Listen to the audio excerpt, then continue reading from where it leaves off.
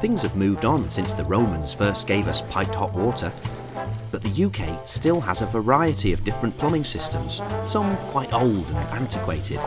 Until recent times, most homes relied on storage tanks and gravity to deliver water around the home. This is called a gravity-fed or low-pressure system, and they were the norm right up until the late 1970s.